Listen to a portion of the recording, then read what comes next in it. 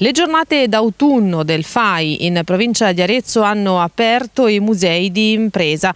Alle nostre spalle il museo di Aboca a San Sepolcro. All'interno dell'Aboca Museum che si trova nel centro storico della cittadina Biturgense è possibile effettuare un percorso storico-scientifico che esalta il potere terapeutico delle erbe e tramanda la storia del millenario rapporto tra l'uomo e le piante. È stata una visita interessante. Poi io, essendo di Città di, Città di Castello, che è un paese qui vicino, non avevo mai eh, visto questo museo e quindi devo dire veramente hanno organizzato e fatto una cosa molto molto molto molto bella e interessante. A fare da ciceroni in queste giornate del FAI gli studenti. Attraverso queste giornate giornate, questi due appuntamenti, in modo particolare quelli d'autunno e di primavera, c'è sempre la possibilità di vedere cose che normalmente non sono aperte, quelle sono diciamo, le occasioni più rare, più preziose, altrimenti c'è la possibilità di conoscere anche delle, eh, dei luoghi o dei monumenti che crediamo di conoscere ma che spiegati dai ragazzi delle scuole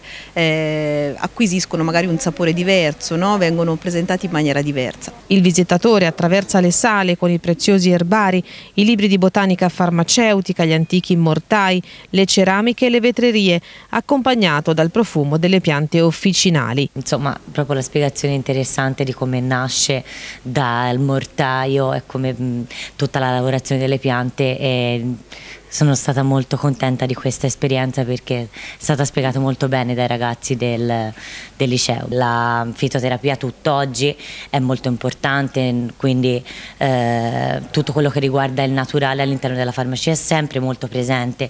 C'è chi preferisce il naturale, il fitoterapico al posto del farmaco stesso, quindi è giusto portare avanti tutto, tutto questo. Sì.